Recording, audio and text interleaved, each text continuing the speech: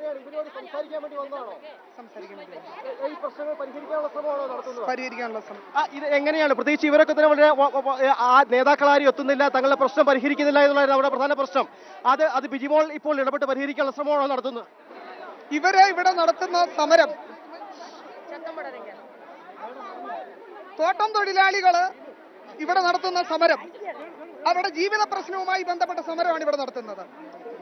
അന്യായമായ അന്യായമായ ഒരു മുദ്രാവാക്യവും തൊഴിലാളികൾ ഈ സമരത്തിന്റെ ഭാഗമായി ഉയർത്തിയിട്ടില്ല. അവർ ചോദിക്കുന്നത് ആരുടെയും ഔദാര്യമല്ല അവരുടെ അവകാശമാണ് ഈ നാട്ടിലെ തോട്ടം തൊഴിലാളികൾ ചോദിക്കുന്നത്. ഔദാര്യമായിട്ടാണ് ആരെങ്കിലും കൊടുക്കാൻ ആഗ്രഹിക്കുന്നത് എന്നുണ്ടെങ്കിൽ നിങ്ങൾക്ക് മുന്നൂറ്റി അറുപത്തി